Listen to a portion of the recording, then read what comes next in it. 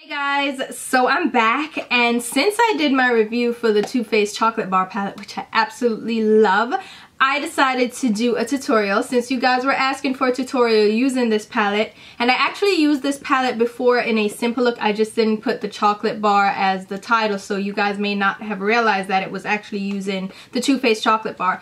It was a bold lip but a simple eye and I'll leave the link uh, here so you can check it out as well as leave a link below to that video so you can see a very natural eye with this look. And then now for today's look, I'm doing a simple, I think this is a very simple everyday like day daytime smoky eye look and it's using one of my favorite shades which is the Gilded Ganache shade. Ooh, I shouldn't be blinding you with that. But if you want to see this look, then stay tuned for the tutorial and I'll talk to you soon. So here's an up close view of the look we're going for. So let's get right into it. As usual, the first thing I do is apply an eyeshadow primer. This is the Urban Decay Anti-Aging Primer Potion. And I'm applying that all over my lid up to my brow. And this is going to help prevent the eyeshadows from creasing by sealing in all the oils in my eyelid. Next, I'm going in with my Anastasia Beverly Hills Pro Concealer in the shade 4.5 and my Anastasia Concealer Brush. I'm just applying this concealer under my brow to clean up the shape as well as give a highlight. I'm just blending it downwards onto my brow bone. Then I'm going to grab my Real Techniques Deluxe Crease Brush and apply some more of that concealer over my lid. And this is going to act as an eyeshadow base. It's going to give our eyeshadow something to stick to and really pop against my skin.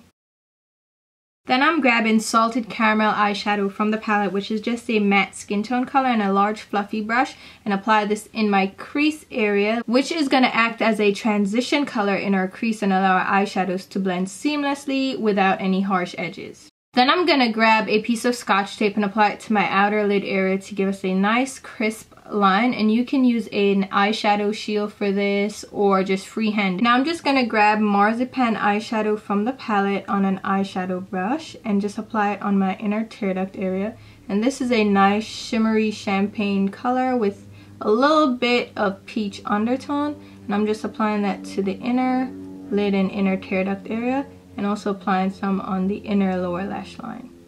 Then I just wipe off the excess off the brush and go along the edges of the eyeshadow so it's not a harsh line. Now I'm going in with one of my favorite eyeshadows from the palette. This is Gilded Ganache and it's a dark brown shade with olive and golden sheen to it and I'm applying that with a flat brush that I dampened with a little bit of Fix Plus. You can also use a mixing medium or water for this and I'm just applying this shadow wet on the outer lid area and blending it inwards to the middle lid. Then as usual, I wipe off the excess off the brush and then go in the edges of the eyeshadows to blend out the harsh line. Then once we have that eyeshadow down, I can go ahead and apply some more of the eyeshadow dry on top to build up the intensity. And again, just go at the edges lightly to blend out the color upwards into the crease. Then I'm grabbing Creme Brulee eyeshadow from the palette and I'm going on the inner lid area where I didn't apply the first shade and just applying it with an eyeshadow brush and blending it inwards to the middle of the lid. Then I'm going to go ahead and grab a nice stiff crease brush and apply Triple Fudge eyeshadow from the palette which is just a rich dark brown matte shade and I'm going to deepen up the outer V with this shade. Then I'm just grabbing a blending brush and going again at the edge of that color to blend it upwards into the crease area. And I'm going to tap a little bit of white chocolate eyeshadow under my brow for a highlight. And you want to use very little since this shade is so very light against dark skin. You don't want it to overwhelm the look. Now you can go ahead and remove the tape and you'll have that nice crisp outer crease area. And as you can see, that helped control the blending on the outer crease. Now what you can do once you have that line is tap at the line to kind of soften it a bit so it doesn't look as harsh but still maintains that kind of crisp outer crease. And then for my lower lash line, I'm going in with that Gilded Ganache eyeshadow again on a flat shader brush and applying it just against my lashes. Then I'm going in with the Triple Fudge color, that dark brown, apply it just on the outer lower lash line to darken up that and kind of give it a smoky effect.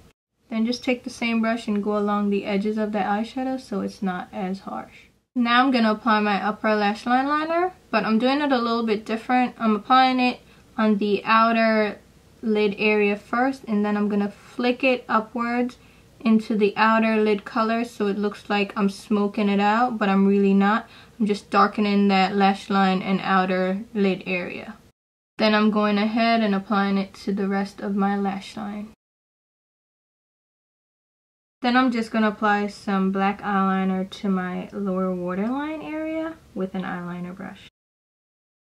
Then I'm going to apply my mascara. Again, this is the Too Faced Better Than Sex, and I'm applying that to my upper lashes to prepare them for my false eyelashes that I'm going to apply, and also apply some to my lower lashes.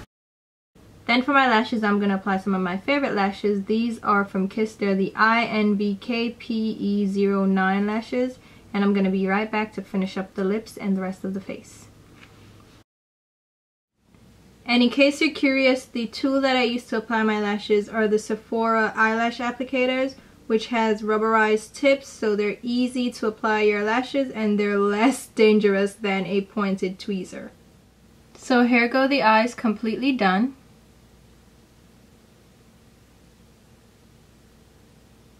So now let's move on to the rest of the face.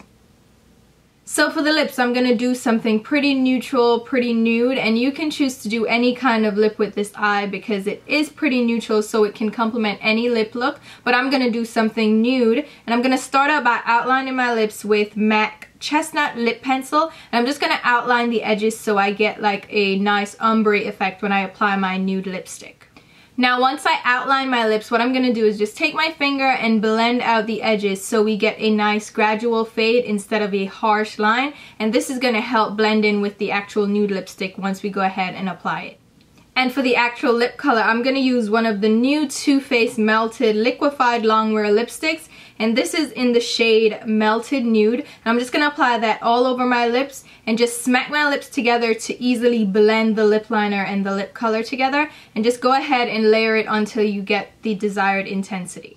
So while I love this lipstick and the effect that it gives, like it gives a beautiful nude lip, I must mention that they don't wear the best. Even though they say they're long wear lipsticks, they kind of wear away on your lips a little oddly. I wore the Melted Fuchsia and Melted Violet shades and they both kind of leave a thin film on the inside, the inner parts of your lips so it fades a little bit wonky. It leaves this little film that doesn't look great and that is something that I've noticed with matte lipsticks. Some of them can do that. Really dry matte lipsticks does that. It leaves this little white creamy film on the inside of your lips. That's not cute at all. So while I love the colors, I wouldn't recommend them for long wear use. They're nice for now, but it's gonna wear a little wonky and look a little funky when it wear, starts wearing off your lips. First for my contour, I'm gonna go in with the Anastasia Contour Kit and I'm going to use the middle shade here which is Fawn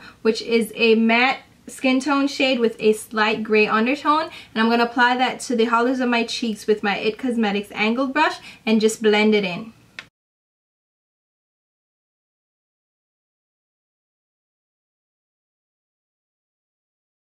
Then to apply a bit of color, a bit of tan to my forehead area, I'm going to use Havana from the contour kit and this has a more warm or red undertone. I'm just going to apply that to my temples and blend it in to give my skin a little bit of a bronzed look. And I'm also going to apply the same Havana shade down the bridge of my nose and also on the tip to give it a more sculpted look so I can give it a slimming effect to appear that I had a nose job. And I'm just going to blend it in with my Inglot 4SS large blending brush from Inglot. Oh, I said Inglot already, right? Yeah. And then for my blush, I'm going to use this Amazonian clay blush from Tarte, and it's in the shade Tipsy, which is this peachy, orangey coral shade. And I'm going to apply that with my Suqqu cheek brush, which is just going to give us a nice flush of color instead of being too intense because this blush applies and blends color so nicely and so lightly over the skin. So just apply that and blend it in. And then for a nice subtle light highlight, I'm going to use my Luminous Light Ambient Lighting Powder from Hourglass. I'm going to dust this in my forehead area, on the high points of my cheeks, and a little bit down the bridge of my nose using my IT Cosmetics angled brush. And I'm, this is a nice light brush that's going to apply this product very lightly to give a very, very subtle highlight. There you go guys, that's the finished look. Hopefully you guys enjoyed this tutorial and I think this look is perfect for prom season. I also think it is great for date night. I even think it's just great for an everyday look. If you want to amp it up a little bit, you don't want to wear the everyday just simple neutrals. You want to do a simple daytime smoky eye. I think this works so great. And um, I definitely love this palette if you can't tell. So if you like the video, definitely hit thumbs up and subscribe and favorites and all that stuff and share with your friends.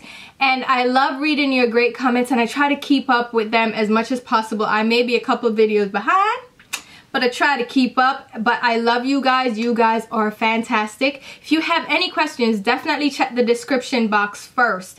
There tends to be a list of everything that I used and any little details that, like my nails. Um, so if you have any questions for that, just check below first before you leave them in the comments. And also in the description box, you'll find links to my Twitter, Instagram, and Facebook pages. They're either The Fancy Face or the fancy faced with a D. So you can definitely check me out there and keep up with me. I, I definitely um, am more active there before I post videos and I definitely post previews of looks too if you're interested in that. So join me there and we'll chat and until then I'll talk to you soon. Bye.